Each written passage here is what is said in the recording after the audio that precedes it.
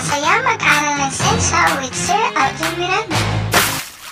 Good day learners! Welcome back to my class. For today's video, we are going to talk about the common atmospheric phenomena. Are you ready to learn? Let's go!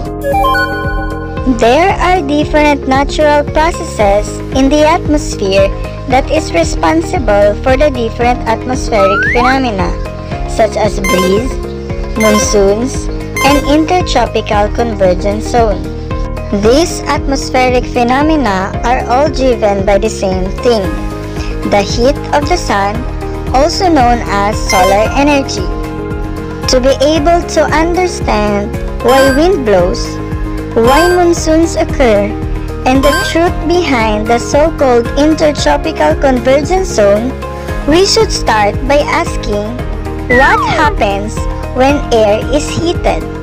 Observe the clip carefully. What did you notice on the clip? Correct. The paper bag with a candle below moves up. This happens because the heat from the candle warms the air within the paper bag, making the molecules of the heated air move faster and spread out which makes the air less dense and light. Therefore, we should always remember that warm air rises, and that's the reason why smokes and steams always move up. Have you seen hot air balloons and lanterns? These are some applications of the concept warm air rises. Now, if warm air is rising, what is its effect on the air in the surroundings? Observe the demonstration. What happens to the smoke or surrounding air when it was placed near the hole? Correct. The surrounding air moves toward the warm air that rises. In real life, during the day, the surface of the earth becomes warm because of the sun. Some parts of the earth will warm up quickly than the others. Naturally, the air above the warmer surfaces will also become warm. What happens to warm air? Just like what was mentioned earlier, it will rise. How is the air in the surroundings affected? It will move towards the place where warm air is rising. In short, air moves toward the place where warm air is rising. Whenever we feel the air is moving, that means that somewhere warm air is rising. Do you remember that moving air is called wind?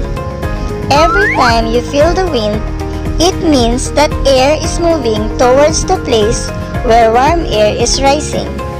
Strictly speaking, wind is air that is moving horizontally.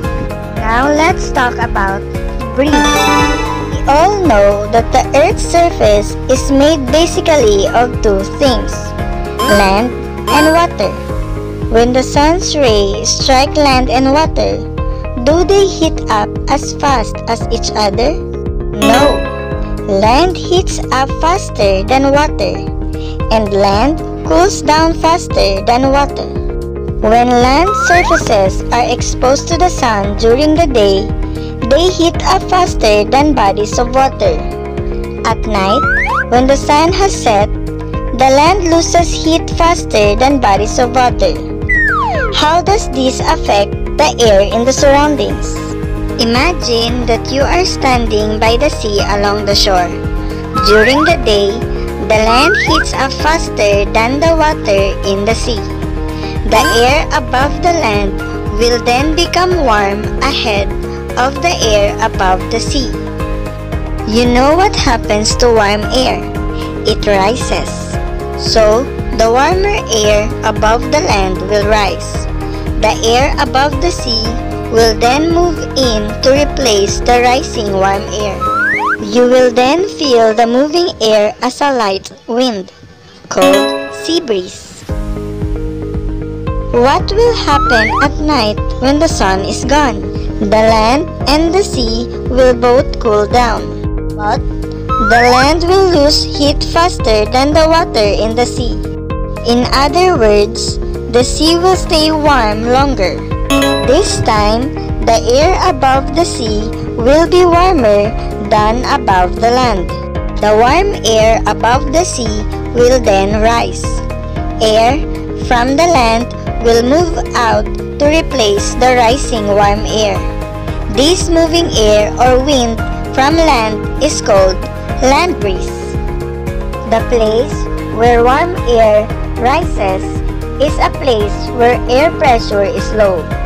In other words, the place where warm air is rising is a low pressure area. In contrast, the place where cold air is sinking is a high pressure area. Based on what you learned so far, in what direction does air move? From low pressure area to high pressure area or the other way around? Correct. It moves from high pressure area to low pressure area. Do you know what monsoons are? Many people think that monsoons are rains. They are not.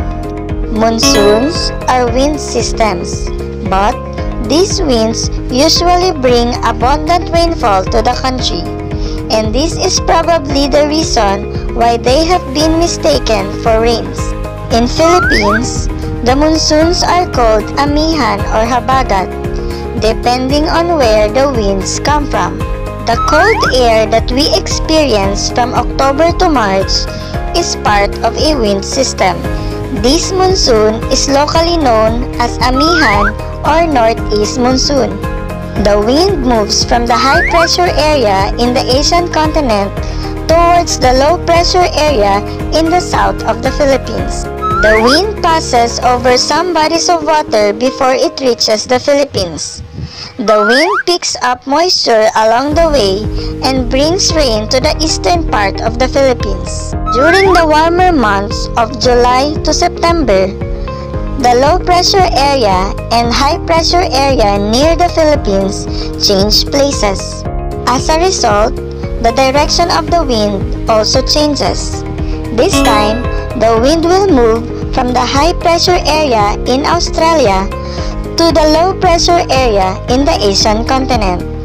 This monsoon wind is locally called Habagat or the southwest monsoon. The monsoons Habagat and Amihan affect people in different ways.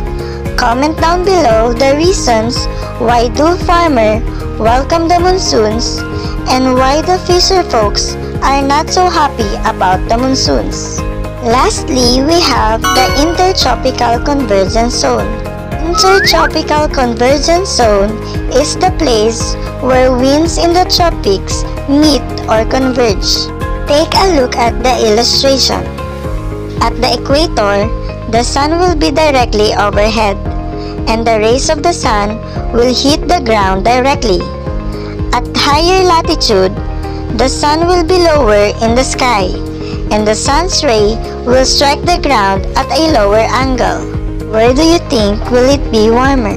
It is clear that it is warmer at the equator than anywhere else. Because of that, the air above the equator will be warmer than the air over other parts of the earth. And you already know what happens to warm air. It rises. When warm air rises, air in the surroundings will then move as a result. In time, the rising warm air will form clouds, which may lead to thunderstorms. Now, you know why weather forecasters often blame the intertropical convergence zone for some heavy afternoon rains. And that ends our video for today. Thank you for watching. Until next time.